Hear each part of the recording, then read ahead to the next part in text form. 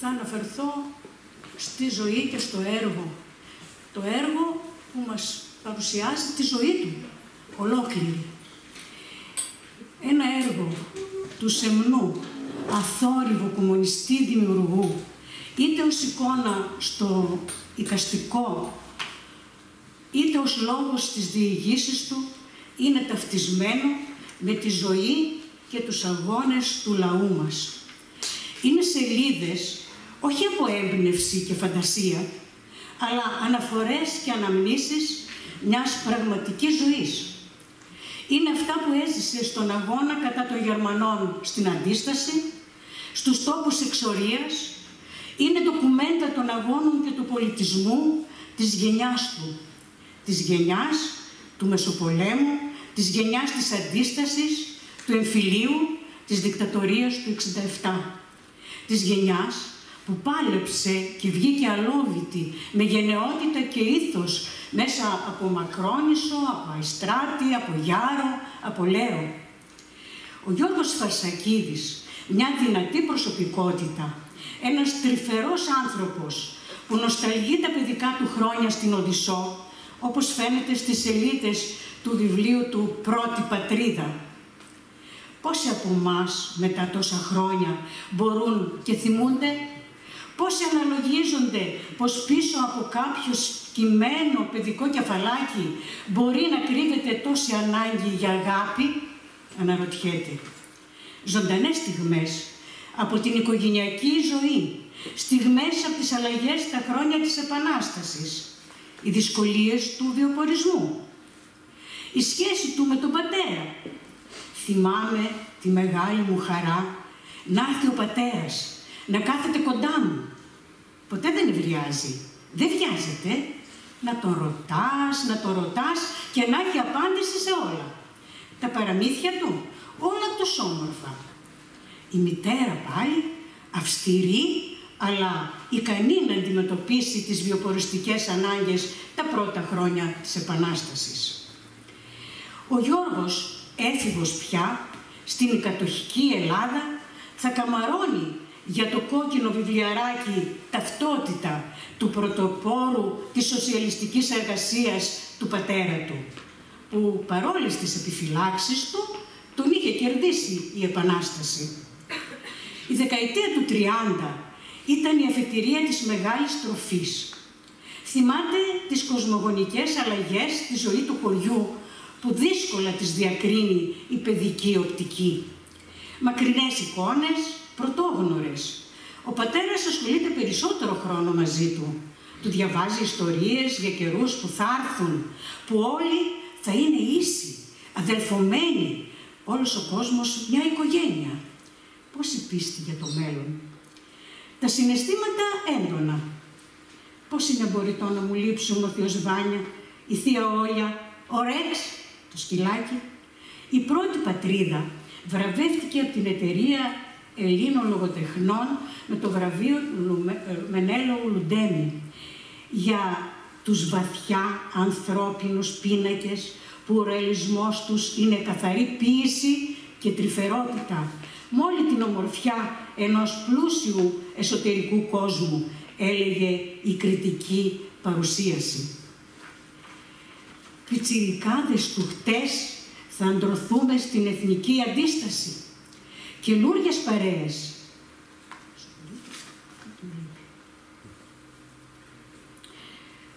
Ο Μουμορίδας, ο Πατάρας, ο Σταύρακας, το πρώτο σχολείο, οι σκανδαλιές, πόσα περνούν από τη σκέψη; Οι μέρες του 36, του 40, ο βομβαρδισμός και ο ταγματισμός της αδελφής του Έλλης που υπεραγαπούσε.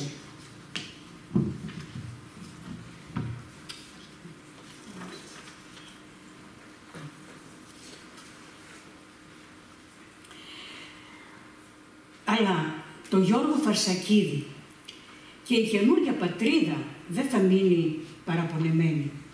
Θα γράψει για αυτή, για τις δυσκολίες της ζωής, σε έναν άλλο τόπο.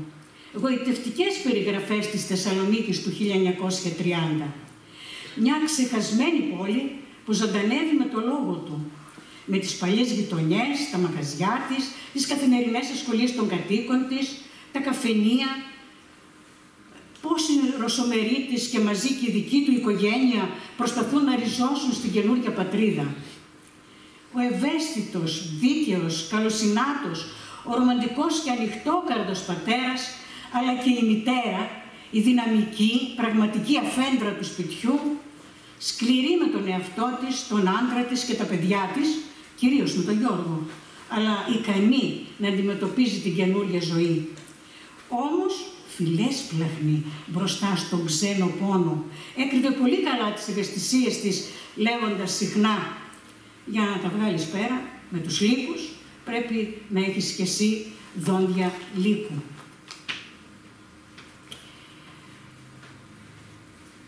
Ο κύκλος της νιώτης θα κλείσει με την απόφαση να ανέβει στο βουνό ενάντια στο φασισμό.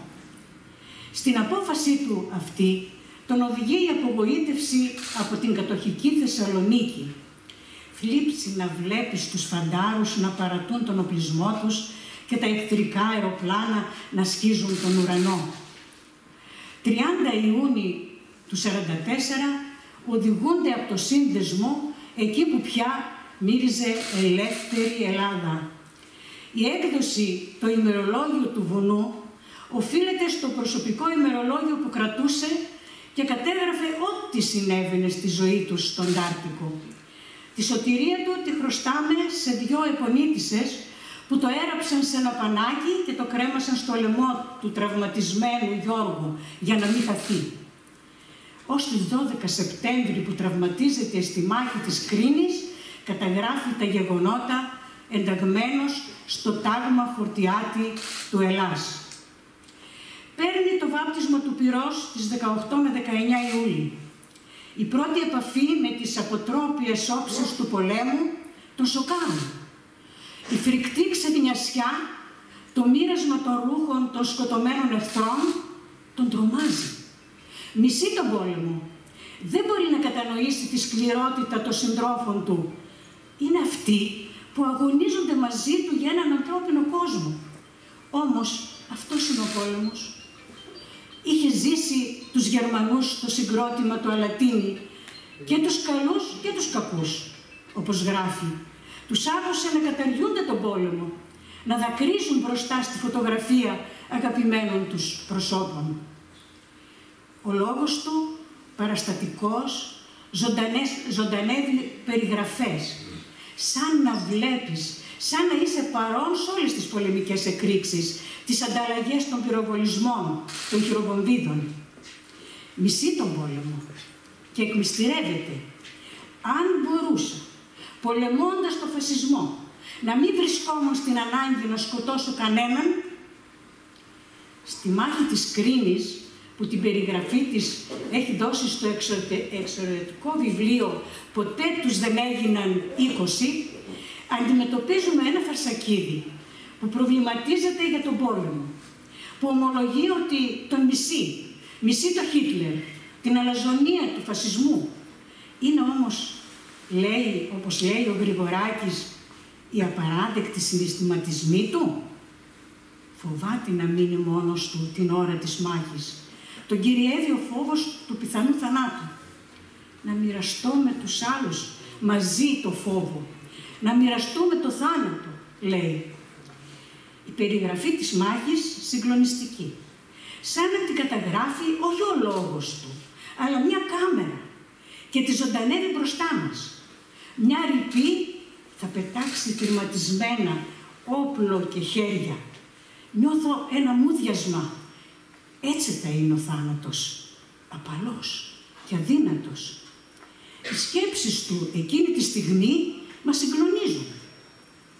Η λευτεριά που περίμενε η δική σου, η αγάπη, ό,τι αγάπησες, εκείνα που δεν γνώρισες ακόμα και ό,τι δεν έχεις αγαπήσει ακόμα στη ζωή. Τώρα θέλω να ζήσω. Θέλω να ζήσω δύσκολες ώρες. Να μπορώ όμως να ζωγραφίζω τουλάχιστον αν ζήσω. Στο ιατρείο ένα χαρούμενος σμάρι από κοπέλες και μαζί το ζαρκαδάκι, που δεν θα μάθει ποτέ πόσες ώρες έχω ξεροσταλιάσει στη γέφυρα του ντεπό. Μόνο και μόνο για να τη δω, να περνά λιγερόκορμη, χαμογελαστή. Κλείνω τα μάτια και ξαναβλέπω την ποδιά, τα κοτσιδάκια, τα μάτια. Σε ένα από τα κείμενά του με τον τίτλο «Η αξιδίψαστη της ζωής», με πόση τρυφερότητα περιγράφει τα συναισθήματά του για τη ζωή και τον έρωτα. Ζούσα, υπήρχα, ένιωθα συγκλονιστικές στιγμές ευτυχίας. Να ζεις, νιώθει τη χαρά του έρωτα. 19 χρονών και μ' αγαπάει. Αχ, μάνα, τα ακούς; 19 χρονών. Τόσο ήταν και ο Γιωργάκης, το ανταρτάκι που είχε γνωρίσει στο μεταγωγόν της Ολύμπου, που τους ζήτησε να μιλήσουν για τον έρωτα, που δεν θα γνώριζε ποτέ. Τόσο και ο Πασχαλάκης, ίσως τα 17. Ο Ανδρέας, που έφυγε στα 20 με την πίκρα της προδοσίας από φίλο αδερφικό. Κοντά στα 20 και ο Φωκίωνας, η Νίκη, η αδερφή του, ο Παναγιώτης, ο Κομνηνός, η Σοφία, που δεν θέλησε να πέσει στα χέρια των εχθρών και προτίμησε να αυτοπυρποληθεί. Ο Γρηγοράκης, όλοι οι αξεδίψαστοι της ζωής. Και εγώ τα γράφω γευόμουν τη χαρά του έρωτα, την ευτυχία να ζω. Και ήθελα να γελάσω, να κλάψω, να φωνάξω. Λάμια ζωή σου την έφερα.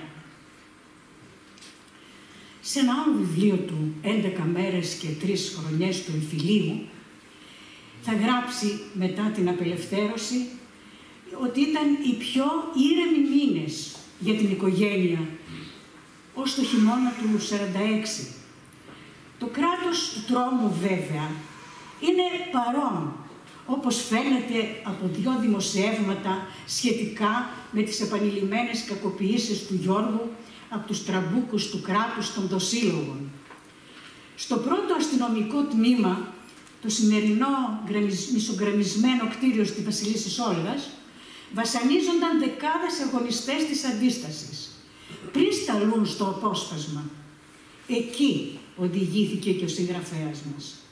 Το έγκλημά του, η συμμετοχή του στην οργάνωση της στενής αυτοάμυνας για τη χειροβομβίδα που δεν εξεράγει κιόλας.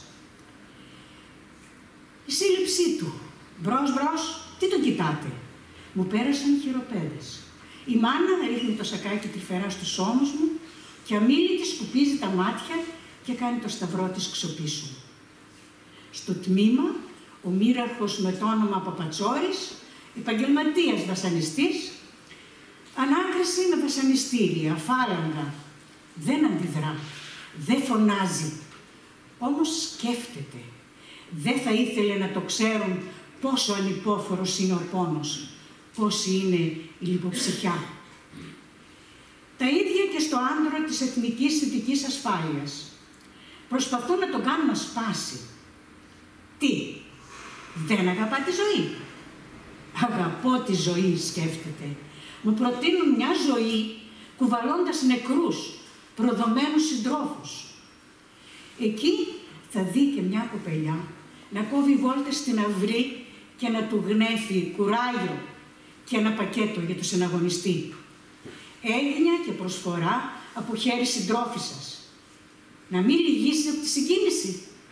Ήταν η κούλα Ελευθεριάδου η Καλαμαριώτησα Υπονίτησα που εκτελέστηκε στο Γεντή Κουλέ στη Θεσσαλονίκη. Η γενναιότητα που αντιμετωπίζει ο Γιώργος στα βασανιστήρια δεν είναι τυχαία. Είναι επίδραση των λόγων και της φιλοσοφίας της ζωής που του πέρασε το παράδειγμα του πατέρα. Υπήρξε, λέει, αγωνιστής και έχει το σεβασμό και την αγάπη του κόσμου. Υπάρχουν στη ζωή μας αρχές του είχε μάθει με όποιο τίμημα να μην προδώσεις αρχές μυστικά και συντρόφους. Να μπορείς να αγαπάς κάτι πιο πολύ και από την ίδια σου τη ζωή ακόμα. Όμως την ώρα που σου προτείνουν για να κερδίσεις, να προδώσεις τους συντρόφους σου, πειρασμός να ενδώσεις στο πανίσχυρο ένστικτο της βιολογικής επιβίωσης. Εκείνη την ώρα όμως έρχονται στο μυαλό όλα όσα διαμόρφωσαν το χαρακτήρα. Οι συμβουλές του πατέρα, η ηθική από τα φιλοσοφικά διαβάσματα του Νίτσε, να σκέφτεσαι ότι το να κρατηθείς στη ζωή εσύ, ο Νικηφόρος, ο Μιχάλης, ο Φάνης, ίσως πεθάνουν στη θέση σου. Πώς να πατήσεις πάνω στους άλλους για να ανέβεις; Από παιδί κάπως έτσι φανταζόταν μια σωστή μελλοντική κοινωνία. Μια κοινωνία ασπίδα για τους αδύνατους.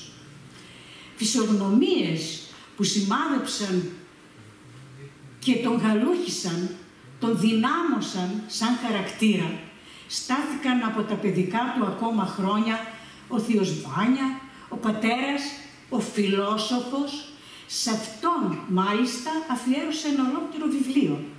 Τον θαυμάζει για την ταπεινότητά του, για την ολιγάρκειά του στα αγαθά της ζωής. Είναι ένας Ρώσος διανοούμενος, φίλος και οπαδός του Τολστόη. Ο άνθρωπος που του στάθηκε ως πνευματικός πατέρας. Αυτός που, τον, που του δίδαξε ότι χωρίς μίσος για την αδικία δεν υπάρχει αγάπη όπως γράφει ο Γρηγόρης Χαλαϊκόπουλος στην κριτική του για το βιβλίο. Με την πρώτη γνωριμία το ζωγραφίζει με το λόγο του, έτσι όπως έμεινε στη μνήμη της παιδικής του ηλικίας. Βιβλικός και ωραίος, το αξεπέραστο πρότυπο ανθρωπιάς. Ο Γιώργος νιώθει περήφανος από τη συμναστροφή μαζί του και τις κουβέντες τους για την αμφισβήτηση της ψυχής, του παραδείσου, της κόλασης. Από αυτόν θα ακούσει πόσο πολύτιμα είναι για την οικογένεια τα παιδιά. Η χαρά και η ελπίδα μας, όπως είπε στη μάνα του, που πάντα γκρίνιαζε για το ζωηρό και ατίθασο γιο της. Ένιωθε περήφανος για τον Γιώργο που δεν πρόδωσε τον εαυτό του, μα πιο περήφανος ένιωθε ο Γιώργος ο απόμαχος, όπως λέει, των 19 χρονών. Τόπι εξορίας, μακρόνισος, αϊστράτης, γιάρος, λέρος, τόπι γνωστή στην ελληνική κοινωνία ως συνώνυμο της εξορίας. Είναι νησιά, ρηγμένα στο πέλαγος, έγιναν όμως ιδανικός τόπος απομόνωσης όσων ενοχλούσαν την εξουσία από το ιδιώνυμο του Βενιζέλου ως τη δικτατορία του Μεταξά το 1941 με τη μάχη της Πύρας και συνεχίστηκε το 1950 η τρίτη περίοδος της εξορίας αλλά και με τη δικτατορία των συνταγματαρχών τον Απρίλιο του 1967. Εκτοπίζονται σημαίνοντα πρόσωπα της πολιτικής και πολιτιστικής ζωής του τόπου. Από εκεί πέρασε ο Γιάννης Ρίτσος, ο Τάσος Λιβαδίτης, ο Τσαβαλάς Καρούσος, η Αλέκα Παΐζη, ο Γιάννης και η Ρόζα Ιμβριώτη, ο Κωνσταντίνος Δασποτόπουλος, ο Σκινάς, ο Μαρκέτος, ο Χρήστος Δαγκλής και άλλοι. Εκεί εξορίζεται και ο Γιώργος Φαρσακίδης.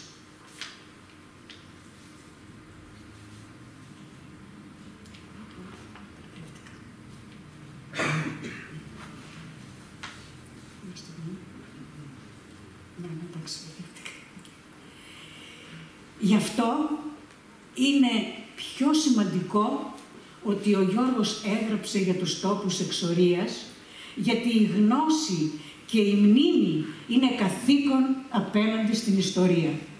Είναι ανάγκη να καταγράφεται για να μπορούν οι νέες γενιές να αποκτούν συνείδηση του ιστορικού παρελθόντος και καθηκόντων και, για το μέλλον, των καθηκόντων τους για το μέλλον.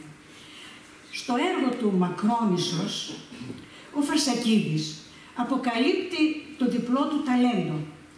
Όσο λιτά αναπαριστάνει στιγμές από την εφιαλτική καθημερινότητα των βασανισμών, της φρίκης στα κάτεργα της βίας, άλλο τόσο με το λόγο του, τον ποιητικό, γλαφυρό, γνωρίζει, ζωγραφίζει την παλικαριά, την αξιοπρέπεια, την αρετή και την τόλμη των κρατουμένων, εξόριστον στο κολαστήριο της Μακρονήσου. Μας συγκλονίζει το εξώφυλλο με την εφιαλτική του εικόνα. Μην νομίζετε ότι έκανε ο Γιώργος και έγραψε υπερβολές. Ο ίδιος δικαιολογεί την έκδοση αυτού του λευκόματος. Ένα χρέος προσωπικό, μια μικρή συμβολή σε αυτήν που θα έπρεπε να γίνει συλλογικά. Γεννήθηκε, λέει, η ανάγκη να ξαναδούμε με καινούρια ματιά αυτά που φάνταζαν ακαταμάχητα. Να αντλήσουμε πείρα πολύτιμη, να σιγουρέψουμε την προσφορά μας στο μέλλον, ό,τι άξιο και σταθερό στις αρχές και στις αξίες. Αυτά, το, αυτό το στόχο πέτυχε. Γρηγορείτε, συνειδητοποιήστε άνθρωποι, αγωνιστείτε, αντισταθείτε, μας φωνάζει. Στον τόπο της εξορίας, το γέλιο, στάθηκε ένα πολύτιμος σύντροφος και στο δύσκολο, στις δύσκολες ώρες. Θυμάται ο Γιώργος. Γελάσαμε πολύ με τη λύσα του αλφαμίτη στο, στη Μακρόνησο. Μα και με την τρέλα, με τον πόνο, με τις πληγές μας. Και τα γέλια ήταν με, μαζί και οι πρώτες απόπειρες για ψυχαγωγία. Πώς θα μπορούσε να περάσουν όλο το, το δύσκολο, αν και, όλα τα δύσκολα, αν δεν υπήρχαν οι αστείοι, οι γραφικοί, οι θυμόσοφοι, το χιούμορ να απαντήνουν τις δύσκολες ώρες. Και φυσικά ο Φαρσακίδης σκαρώνει φάρσες, πειράγματα. Ένα γράμμα που τάχα έστειλε ο Κόλιας με τη φωτογραφία του δίθεν ανεψιού του, που δεν ήταν άλλος από τη φωτογραφία του μικρού Παναγιώτη, του Χαριωτόπεδου, στη Λέρο, στη Γιάρο, με συγχωρείτε, για να σβήσει τη χαρακιά, την απογοήτευση όταν δεν ερχόταν το γράμμα στο κόλλο ή πώς καμάρωνε ο Μπαρμπαβασίλης ότι ήξερε τα ονόματα όλων των συμπαθέστατων ζώων, τα γαδουράκια, και ότι φωνά... Όταν ρωτήθηκε ποιο είναι το μεγαλύτερο γαϊδουράκι, η απάντησή του ήταν ο Φαρσακίδης. Και η Λεζάντα στη φωτογραφία του με ένα από τα συμπαθέστατα ζώα, ο Φαρσακίδης, δεύτερος από δεξιά, αυτοσαρκάζεται. Με αυτά τα βιώματα γράφτηκαν, το, ε, γράφτηκε το έργο πολιτιστικά και ευτράπελα.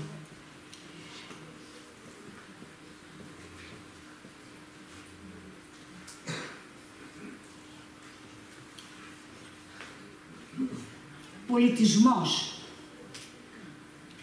Οργασμός του πολιτισμού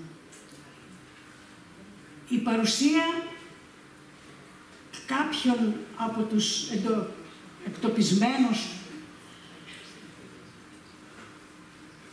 στο νησί του Αϊστράτη.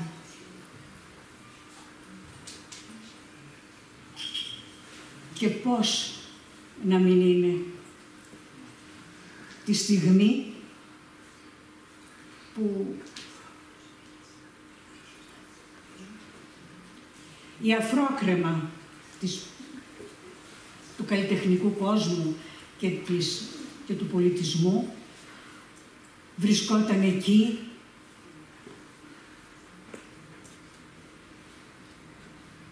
την περίοδο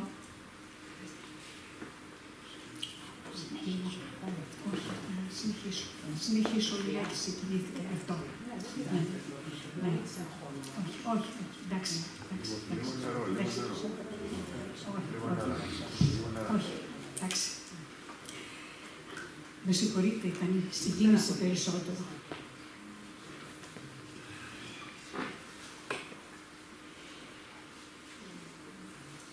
Και πώς να μην είναι τη στιγμή που η αφρόκρεμα του πολιτισμού, του καλλιτεχνικού κόσμου γενικότερα πέρασαν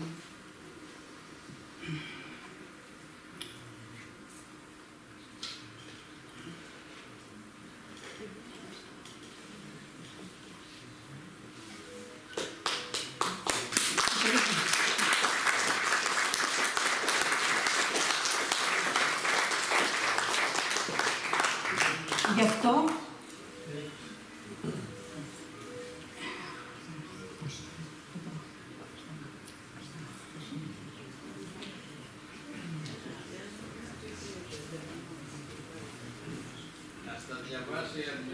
Δεν πειράζει, θα το διαβάσω εγώ. Αμέτρητα, γι' αυτό αμέτρητα τα έργα που ανέβηκαν στη Μακρόν, στη μεταμακρονισιώτικο Αϊστράτη, όπως ο Γιώργος μας απαριθμεί. Δεκάδες έργα, σκέτσι, κουκλοθέατρο, η πολιτιστική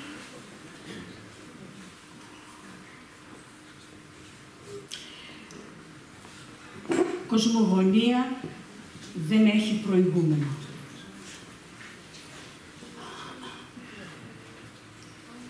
Οι Πέρσες του Εσχύλου, όπου με συγχωρήσετε λίγο, οι βασικοί πρωταγωνιστές αντιπαρατίθενταν. Ο Καρούσος θεωρούσε σπουδαίο το λόγο. Ο Ρίτσος την κίνηση και το πάθος. Ο Κατράκης την έκφραση. Σκηνικά ο Δαγκλής.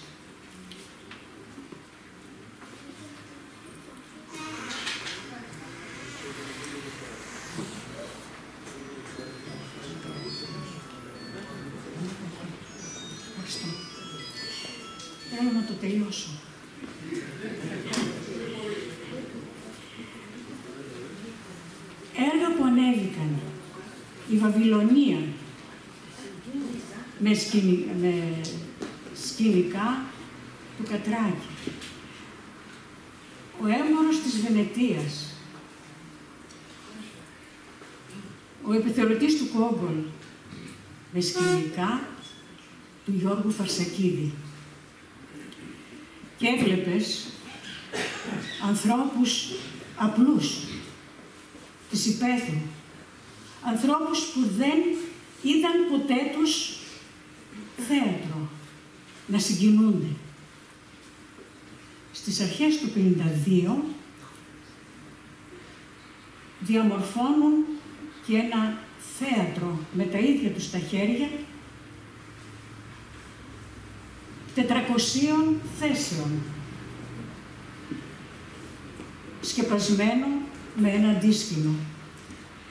Μα και μουσική, χορός, τραγούδι δεν έλειψαν από, την, από τις γιορτές, προβάλλοντας έτσι την πολιτιστική κληρονομιά.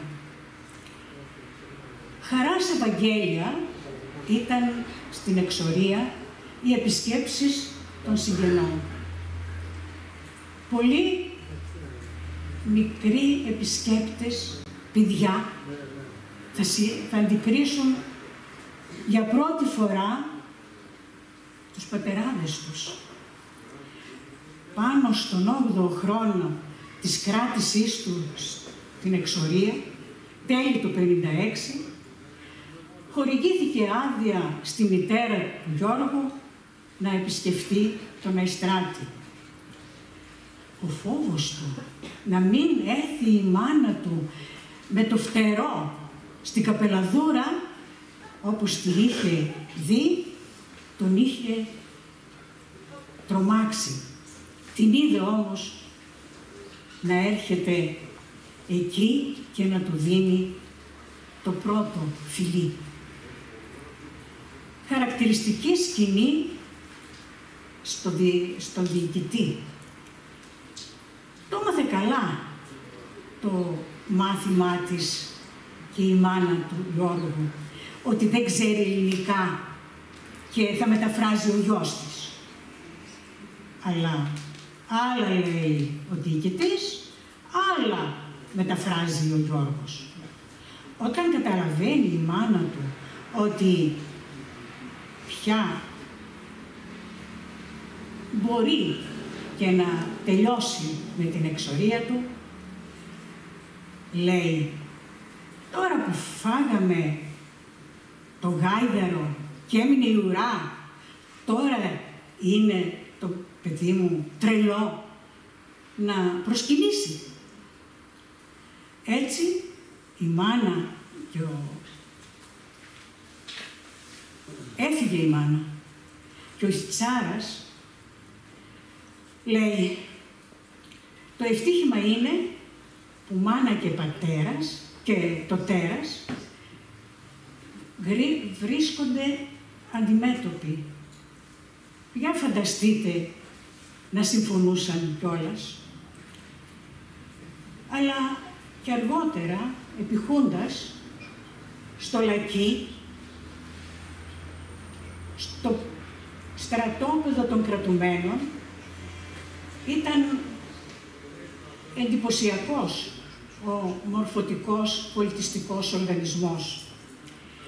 Ομάδες μελέτης, μαθήματα δημοτικού, γυμνασίου, μαθήματα ξένων γλωσσών, ιστορία της τέχνης, μαθήματα φιλοσοφίας, πολιτικής οικονομίας, θέατρο, συντέριασαν και ψυχαγωγία και μόρφωση με τις παραστάσεις τους όπως ήταν ο καλός στρατιώτης Βέι, η Μαρία του Οκτώβρη, οι Πέρσες. Για το ολοκαύτωμα του Χορτιάτη, ο Γιώργος έκανε το παν για να μην ριζώσει η διατεταγμένη προσπάθεια να σπηλωθεί η αντίσταση, η εθνική αντίσταση και να θεωρηθεί ότι δήθεν ήταν ένα από τα αντίπεινα των Γερμανών για το φόνο ενός Γερμανού ε, γιατρού που πήγε να ρίξει φάρμακο στο υδραγωγείο. Ήταν μια προσπάθεια να μηδενίσουν τη μαγικότερη, ηρωική συμμετοχή του Εθνικού Περιφερειακού Αγώνα των Ελασιτών του ηρωικού τάγματος του Χορτιάτη. Αυτό της μάρτυρας ο ίδιος αγωνίστηκε με τη συγγραφή του βιβλίου μια επέσχυντη συμφωνία και το ολοκαύτωμα του Χορτιάτη να δώσει όλα τα ντοκουμέντα που ο ίδιος έζησε. Είναι η γραφή της Σοφίας, προφανώς.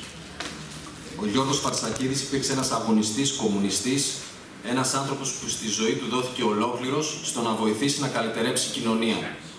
Πρόσφερε ανιδιοτελώς όλες τις δυνάμεις για να ανθρωπέψει ο άνθρωπος, αναφέρει στον πρόλογο του ημερολόγιου του βουνού ο Λεοντιάδης.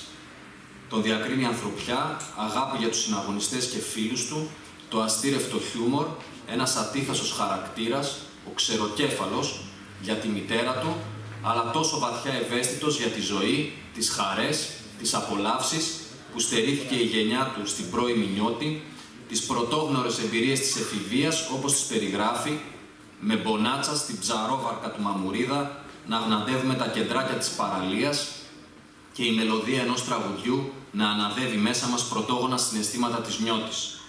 Όμως είναι αυτός που μέσα από τόσους αγώνες στάθηκε όρθιος, μας έδωσε τόσα έργα και με τη γραφή του κατέγραψε τα πιο δύσκολα χρόνια του λαού μας και με το πινέλο του άφησε ζωντανά ντοκουμέντα μιας εποχής αγώνων που θα θυμίζουν στους νεότερους ότι μπορούν να αγωνίζονται σε κάθε εποχή για το όραμα ενός κόσμου καλύτερου για το λαό.